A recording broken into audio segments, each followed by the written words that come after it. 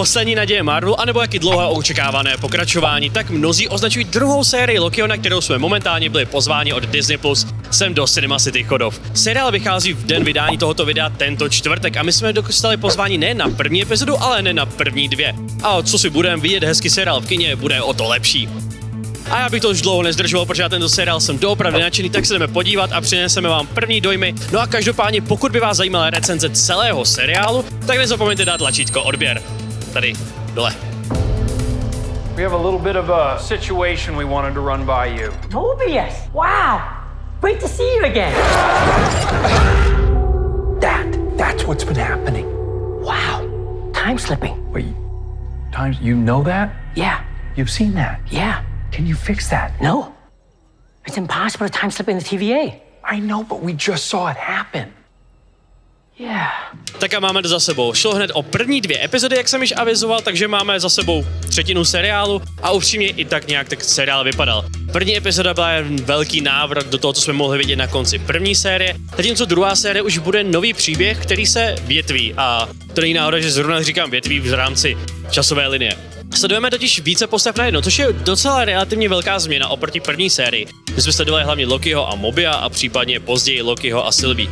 Zde totiž se představují i nový vedlejší postavy. Sice se vrací P15 a například OB, je zcela nová postava, která upřímně má více prostoru, než by se dalo čekat. Vlastně celá druhá epizoda se točí z poloviny jenom kolem něho a problému, který momentálně nastal v TVA. Takže pokud si myslíte, že tak nějak tušíte, kam se vydá druhá série, tak vlastně ve finále i já jsem byl osobně překvapen tím, jaké jsou nové problémy, které musí postavy řešit a proč se vůbec objevují až teď nové vedlejší postavy a jak dokážou pomoct Lokimu, protože Loki, i když je bůh faleše a iluzí, tak ve finále narazí na situace, kdy zkrátka potřebuje pomoc ostatní. Zjistíme také, co se stalo se Sylvie po konci první série a hlavně, kde se to odstunul Loki na konci první série.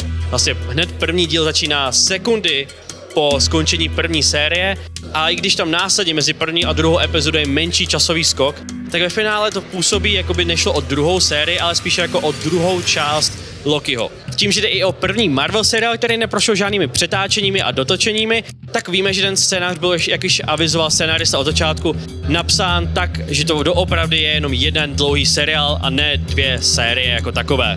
Zároveň mě trošičku zajímá, jestli v pozdějších epizodách uvidíme malinkatý teaser nebo nějaký nalákání na film The Marvels, vzhledem k tomu, že totiž pořád běží stávka herců, tak se nemůžou zúčastnit žádný propagace samotného filmu.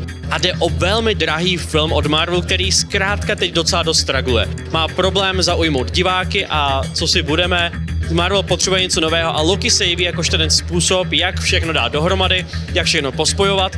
Sám scénárista lákal na to, že bych chtěl rád vidět znovu sledání Lokiho Thora, tak možná i to nastane a uvidíme, jakým směrem se následně MCU vydá, protože zatím ty první dvě epizody buduje něco většího, než by člověk mohl čekat a sám Kang, i když nebyl, což můžu zatím říct, v prvních dvou epizodách seriálu, tak rozhodně bude hrát ještě velmi velkou roli, minimálně v jednom vedlejším příběhu a dává smysl, proč se za ním naši hrdinové vydají.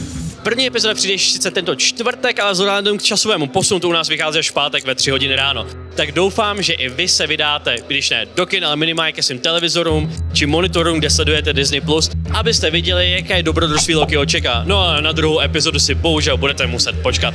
Stejně tak jako na naší recenzi, které se dočkáte až po vydání šesté epizody, takže tak za měsíc a půl se vidíme a když je omluvíte, je tady limetkový koláč někde, musím si je dát. Really goodbye.